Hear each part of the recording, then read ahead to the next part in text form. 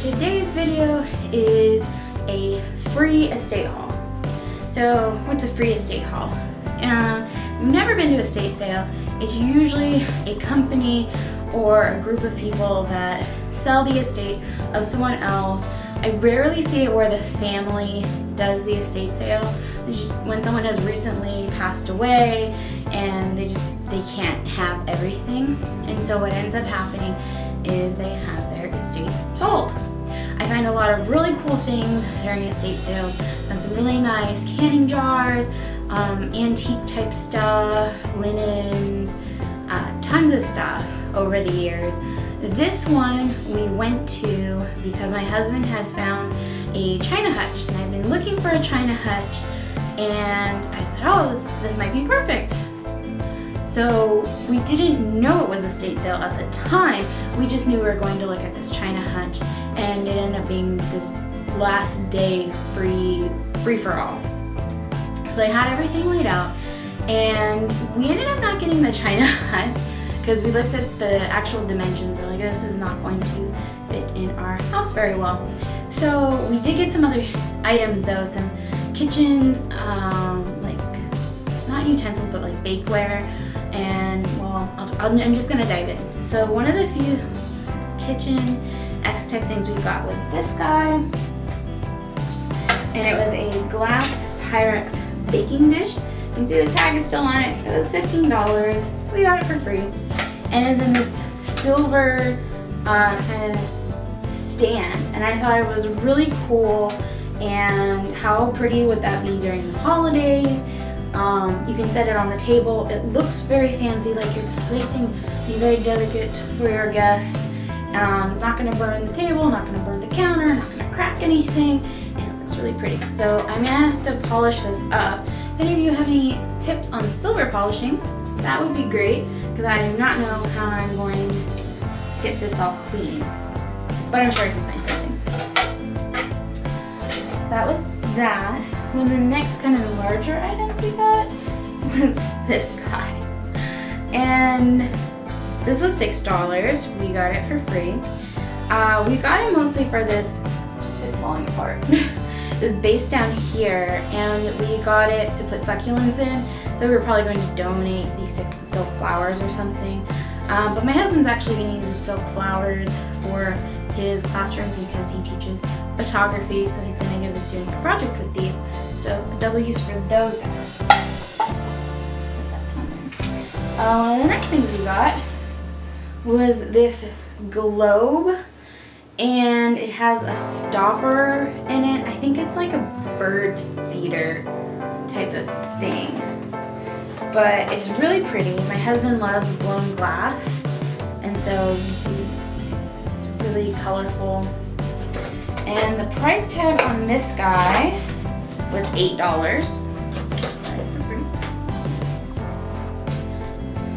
Um, some of the other baking stuff we got are these metal bowls, which I think are pretty awesome. We use them for lots of different things when we're serving food, when we're doing prep work. Uh, he uses them sometimes during his car stuff because they're metal, they won't break. So he might steal one of these or both of these he can have like uh, to work on his car stuff. Um, one of the last kitchen things we got, because the other ones are kind of buried, is this bowl. It's dirty right now, I have to wash it. It was $6, it for. It's a very nice Pyrex bowl, and I like to do these when I'm making kind of quick steamed vegetables in the microwave. I'll put some broccoli with a little water or something and just microwave it. If I'm making a bigger dish, or for serving pasta because it has the handles. And these are usually really expensive and Pyrex is a really good brand. They last forever. And so I was really happy to get this guy. Everything's clanging off screen. Uh, try to get all the kitchen stuff done with it first. So, random silverware is this guy. It is stainless steel but it goes very well with the set we have. um, and it's a gravy spoon, gravy ladle. I did not have one of these whenever we have Thanksgiving or something. I always wanted one of these so I don't spill gravy all over my table.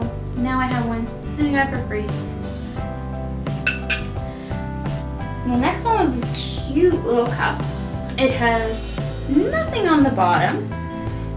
So I have no idea um, if it's made in China, made in the US, if it's a replica, if it's an original, if it's an antique, I have no idea. If you know, can let me know. However, I do love this pattern. It's very bright, it's very colorful, there's no cracks or chips in it, and I've recently broken a couple cups, so now I got to replace it with this guy, which is quite adorable, and I love it. And again, it's free. So I guess kind of on the kitchen theme is this adorable doily. It is handmade, I crochet, and I can tell it's hand done. This is done with, this is done by someone who doesn't know how to, didn't probably know how to do rows properly. I can tell because the lines right here. I don't know if you can see it on camera. But I thought it was really pretty. It has a little hanging hook, so it could be decorative or I could use it as a trivet. It feels really thick like it was meant to be a trivet, and I think it's really adorable, and I love handmade stuff like this. Again, one of my favorite things that we found that was free is tins. They had a ton of metal tins. They were 50 cents. They sold the tags on them. But I love to put cookies and various things for people for the holidays or other events in there. So we got this snowman one. We got a, is it poinsettia? Poinsettia one. It was $2 in the store. It was 50 cents there. We got this red snowflake one. This one was bigger. It was from Walmart, apparently. It was a dollar. And then this kind of flatter one, but it's really wide. So they'll be good for like shortbreads, I think. Um, this was 50 cents. And then this guy is huge, has little green ornaments on it. This was $1.50. It was $3 at Walmart. You got that guy. My favorite one is this one. Le Curly Lebkuchen. It sounds German. Maybe you can tell me what it's all about. I have no idea. It looks like it was chocolate. Oh, traditional German gingerbread. But it was $3. I love this tin, and I'm not giving it away because I think it's adorable. And that was it for kitchen stuff. But no, I don't have it. My husband's already put it away, but it uh, was a tire iron. He needed a tire iron for his truck, and they had one, it was free. So one thing I found was this box set, and super cute. It's the American Geographical Society Around the World Program by Nelson Doubleday Incorporated. It pulls out, and then inside you have a ton of these old, old maps. Maps of everywhere, which I think is really cool because I do GIS work, I do, so it's digital mapping, geography. Um, my husband loves old maps and I don't know what we're going to do with them quite yet, but even if we don't do anything with them, it looks very nice. Uh, one of the next things we found, I found it for my husband, is this clock. My husband loves wood, wood pictures, so he's always looking at these wood clocks. Um, we found this guy, and he's like, oh, we need to have this. You can see a lot of the stuff I said he needed. Not very much of it was stuff he needed. And then the last thing we got was for me, for my books, are these awesome little mini globe bookends. And these were $12.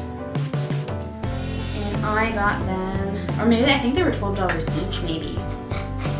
So together they were 24 because they have a price tag on each of them. They're made in Hong Kong. Apparently. But they're paper on here, paper here, and then they're like all wood and brass, and they're really, really cool. Uh, I've never seen globes like this as bookends, and I absolutely adore them. I'm so happy I found them because I actually just realized I would like some bookends, and now I have them, so I'm really happy. And that was the extent of our free haul from the estate sale. Uh, if you have any great finds you want to tell me about, please leave them in the comments below. If you like this video and like more videos like it, give me a thumbs up or say, hey, I want you to do a video about this I would be happy to do that. Uh, if you want any more tips on like zero waste, low waste kind of things, like some of these items would make really nice gifts. We considered getting some items for gifts for people, but we weren't 100% sure they would actually like them. We didn't want to get them, just have them sitting around.